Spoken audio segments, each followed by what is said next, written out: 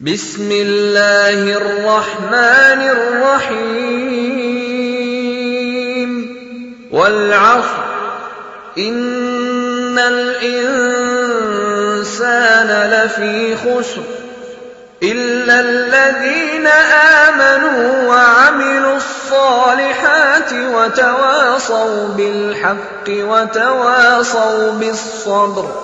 Alle Menschen, alle Menschen, alle Menschen, die ganze Menschheit, die ganze Menschheit, die ganze Menschheit. Wahrlich, sie befinden sich wo? Sie befinden sich wo? Im Verlust, im Verlust.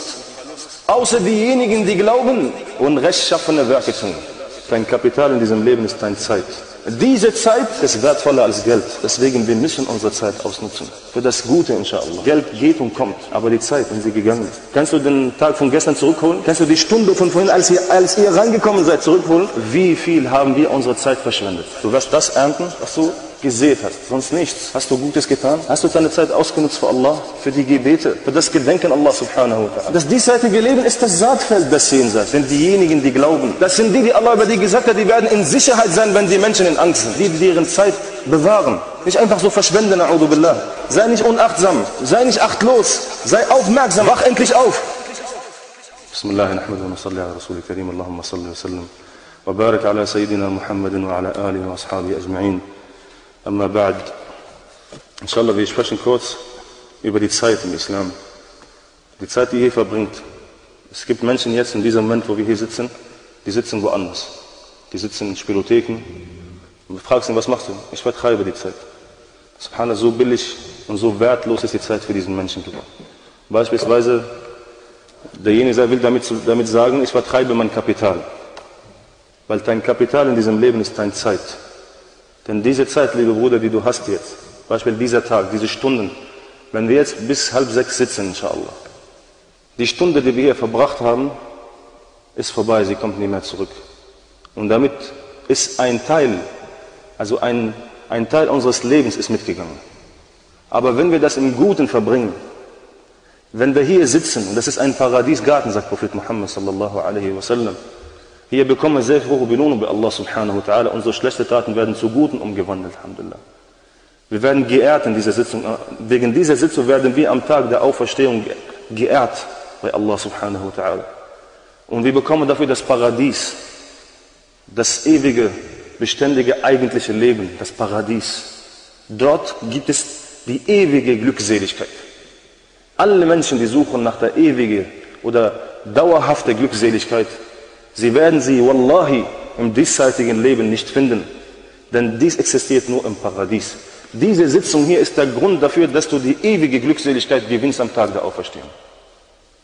Da werden Menschen Angst haben, ja. Da werden Menschen weinen. Sogar Menschen werden so viele Tränen weinen und vergießen, bis sie keine mehr haben. Dann was machen sie? Sie müssen weinen. Dann vergießen sie Blut. Das Hadith sahih. Sie werden Blut vergießen. Nicht mehr Tränen, Blut. Stell dir vor, du siehst jemanden, der weint Blut. Aber diese Blut, Yawm al ist so viel. Es wird so viel fließen wie Bäche, sagt Prophet Muhammad. Allahu Akbar. Aber du, du darfst geehrt werden, Yawm al Du darfst ins Paradies eintreten. Für die Ewigkeit. Du darfst Allah sehen. Alles, was du dir wünschst, bekommst du. Und das Schönste daran, dass dieser Glück ewig bleiben wird. Wird nie zu Ende gehen. Es gibt keinen Tod. Wir haben alle Angst vor Tod heute. Aber dort gibt es keinen Tod. Sogar Schlafen gibt es nicht mehr im Paradies. Es gibt viele Menschen, wenn sie Partys heute feiern. Die Party ist so schön, dass er sagt, oh, wäre schön, wenn das auf Dauer bleiben wird. Ja? Aber auch wenn es auf Dauer bleibt im diesseitigen Leben, wird Stress kommen.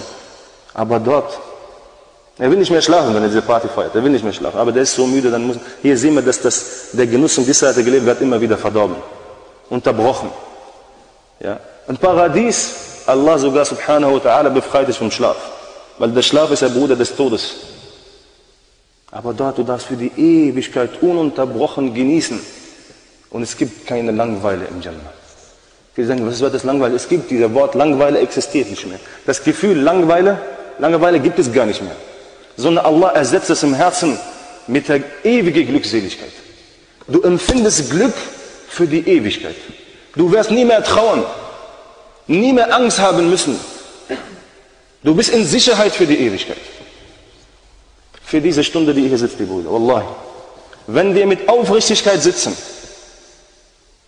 mit Aufrichtigkeit, nur wegen Allah, diese eine oder eineinhalb Stunden, diese Zeit haben wir profitiert. Wir profitieren davon, Yawm al-Qiyamah. Wir profitieren davon. Aber die Menschen, die dort sitzen, Muslimin in Spielothek, billah, oder Diskothek oder in Kneipen, während die Menschen am Beten sind, diese Menschen, Yawm al-Qiyamah, sie werden, bi'idnillahi azza wa jall, Ibn Abbas sagt, die Menschen, Yawm al-Qiyamah, sie werden so sehr bedauern, dass sie die Zeit verpasst haben, dass sie die Zeit nicht ausgenutzt haben, dass sie Allah nicht angebetet haben, subhanahu wa ta'ala. Sie werden auf deren Finger beißen, beißen, bis sie zum Ellbogen reingebissen haben, beide Ellbogen rein. Sie beißen da rein, sie fressen sie auf.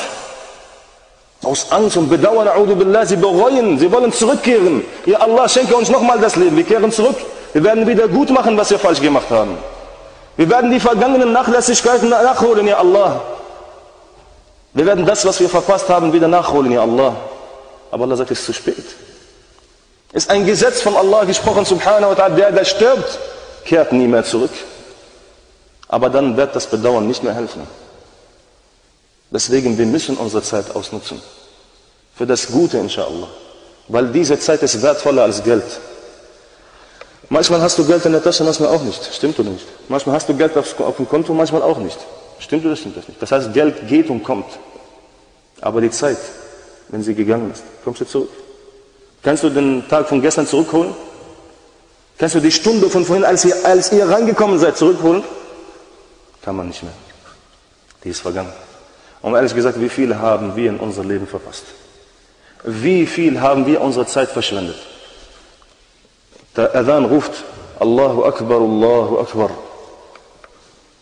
Ja? Und dann sagt am Ende, also kurz vom Ende, Hayya ala salah, Hayya ala al-falah, Allahu Akbar, Allahu Akbar, La ilaha illallah. Und du guckst den Fußball an. Und du ignorierst diesen Ruf. Was willst du Allah sagen, Yom al Hast du eine Antwort dafür? Du verschwendest deine Zeit. Weißt du, Achi, was du verpasst hast, wenn du nicht hinter den Imam betest? In diesem Moment? Ich rede über mich selbst, über jeden, der hier sitzt und jeder Muslim, der mir zuhört. Weißt du, wie viel du verpasst? Was für eine Belohnung du verpasst hast, die du nie mehr, nie mehr zurückholen kannst. Du kannst diese Belohnung, die, verpasst, die du verpasst hast, nicht mehr nachholen. Wenn du ein Pflichtgebet verpasst, du kannst dein ganzes Leben lang beten, du kannst diese Belohnung nicht mehr nachholen. Nie mehr.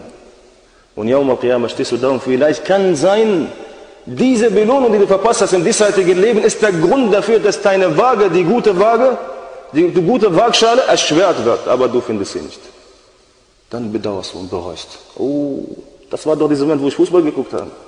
Das war doch dieser Moment, wo die Serie am, am Laufen war. Die war doch so traurig, die Szene, subhanallah. Ich musste weiter gucken. Ja, subhanallah. Das ist nur ein Film, ja. Das ist eine Lüge.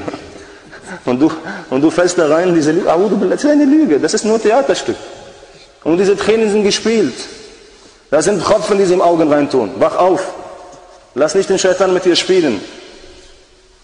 Und diese Frau, die dir so schön aussieht im Fernseher. Lass sie einmal schlafen und aufwachen, dann siehst du sie richtig an. Guck, ob sie dir nochmal gefällt oder nicht. Das ist alles nur Täuschung.